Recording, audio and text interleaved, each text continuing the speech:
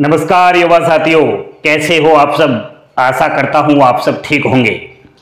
दोस्तों, काफ़ी सारा मैसेज आता रहता है बहुत सारे युवा साथियों का। सर, हमारे पास डिग्री है। हमने डिप्लोमा कर लिया है। हमने बीई बीटेक कर लिया है। आप ज़्यादातर दसवीं पास, बारहवीं पास वालों के लिए नई नई भर्तियों की जानकारियाँ प्रोवाइड करवाते हो। क्या भारत देश के अंदर हमारे लायक कोई भर्ती नहीं है। क्या बीटेक वीई डिप्लोमाधारी अपनी डिग्रियों की अगरबत्ती लगाएँगे? वह डिग्री आखिर कब काम आएगी? हमारे लिए भी कुछ भर्तियों की जानकारियाँ आप हर महीने में दे दिया करो। तो बहुत ही बड़ी जानकारी है।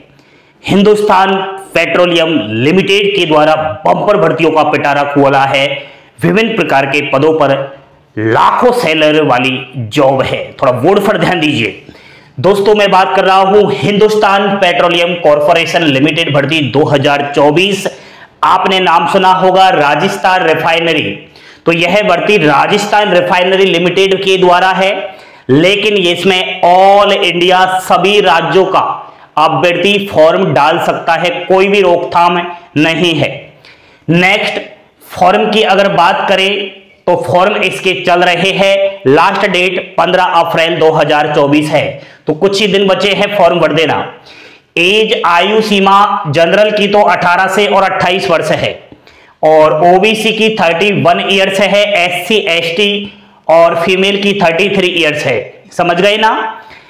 फॉर्म की जो फ़ीस है दोस्तों, वह जनरल ईडब्ल्यूएस ओबीसी की ग्यारह सौ अस्सी रुपए है। वो थोड़ा फ़ीस ज़्यादा है, लेकिन फ़ीस को आपको नहीं देखना है, थोड़ा अलग रास्ता अपनाना है। ये एक ऐसी भर्ती है जो आपका सिलेक्शन इसमें हो सकता है। बाकी अगर S C S T P H category के हो तो कोई भी एप्लीकेशन फ़ीस आप लोगों की नहीं है फ्री में फॉर्म डाल दीजिए। नेक्स्ट सिलेक्शन कैसे होगा?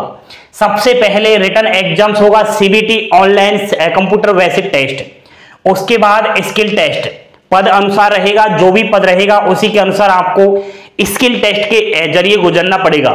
साक्षात्कार, डॉक्यूमेंट वेरिफिकेशन और मेडिकल के बाद आपकी नौकरी लग जाएगी।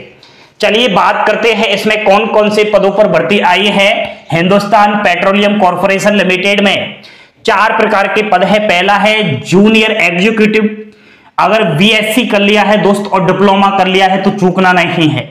Senior engineering BE B Tech आ गई है आप लोगों के लिए भर्ती।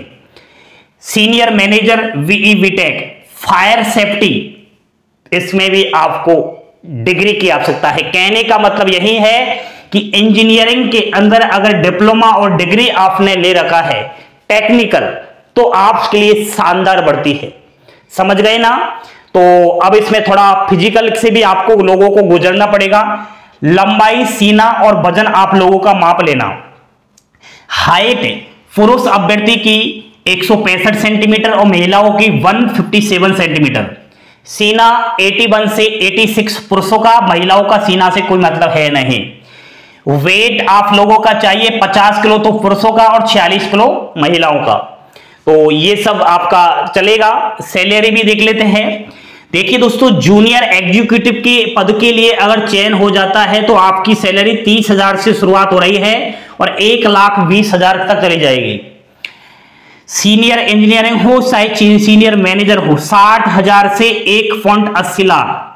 फायर सेफ्टी अस्सी हज़ार से दो पॉइंट बीस लाख। तो सैलरी तो मैंने शुरुआत में ही आपसे बोला था कि गजब की सैलरी है, क्योंकि एक, ये पोस्ट जो है ना ए ग्रेड की पोस्ट है सभी। तो इस सैलरी के अलावा आपको सारे अलाउंसेज मिलेंगे। तो बार बार जो मैसेज करते रहते हो सर हमारे लिए भी भर्ती बताए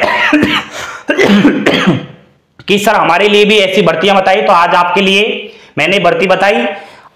फॉर्म आप लोगों को भर देना है। ऑफिशियली नोटिफिकेशन जो है टेलीग्राम चैनल पर मिल जाएगा, जिसकी लिंक वीडियो के डिस्क्रिप्शन में है। जल्दी से जाइए, बिना देरी किए हुए इसकी ऑफिशियली नोटिफिकेशन की पीडीएफ डाउनलोड करिए और अच्छे से उसको एक बार खुद से पढ़िए।